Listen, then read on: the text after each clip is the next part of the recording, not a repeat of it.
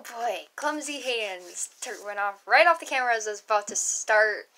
And man, yet this light is bright. I maybe if I channel, I'll just like secretly wear sunglasses just to keep it away. And I'll, I'll be like, I'm doing this to look cool, but in reality, I don't have the materials. Oh shoot. Yeah, do not want, I don't know, brain stuff, you know? Focus on me. no, we talking. You not talking to the box. You can talk to me in the curtain. Nice curtain. Because Gray's, Gray's amazing. So, what's this? Notification on phone. Do not pay attention. Phone addiction.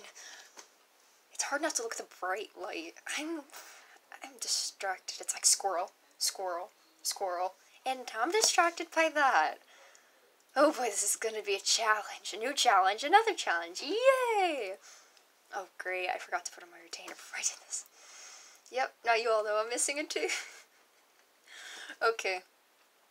Well, it does it does have a brighter effect. It seems to light over evening. Like I turn this way, bad idea again. So let's see if I can. I have to find something to either cover this or just find a different place in the room.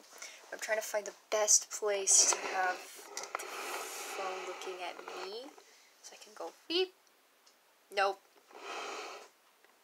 Closer. Closer. Closer. Good.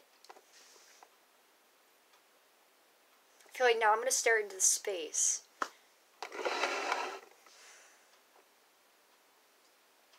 No.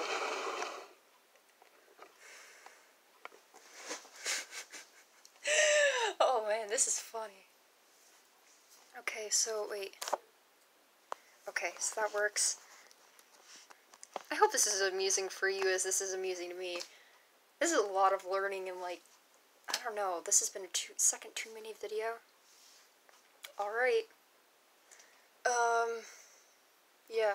Well, before I go, I'm going to tell you where I got this really bright, obnoxious light is I was originally trying to grow lavender in my bedroom and I didn't want to do it outside because it is hot and humid outside, and lavender is apparently hard to grow. And I'm like, you know what? I'm going to keep it inside so it suddenly wilt and I can keep a good eye on it. I went to dig up it from the ground, which was a bad idea because I cut the roots, and that was just a bad idea in general.